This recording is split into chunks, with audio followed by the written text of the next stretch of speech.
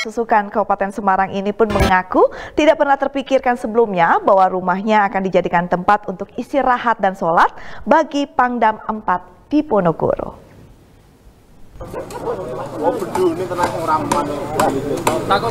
Anggota Satgas TMMD reguler ke-110 Kodim 0714 Salatiga dengan sigap mempersiapkan segala sesuatu dalam menyambut kedatangan Pangdam 4 di Penogoro.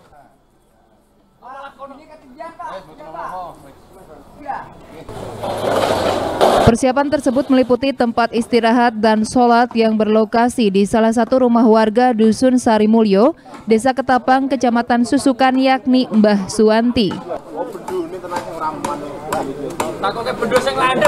Warga desa Ketapang Suwanti mengaku kaget ketika sejumlah pria berbaju loreng mengunjungi rumahnya. Kedatangan mereka untuk meminta izin kepadanya lantaran rumah miliknya menjadi lokasi dalam menyambut kedatangan Pangdam. Kaget Mas, gini nggih seneng kerawan para pejabat.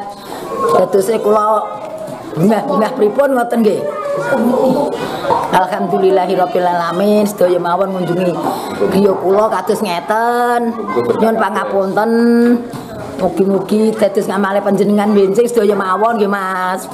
Suwanti mengaku kaget dan tidak percaya, namun dibarengi dengan perasaan senang. Suwanti pun sempat kebingungan mengenai persiapan apa yang harus ia lakukan terlebih dahulu. Tim Liputan, Bandung TV.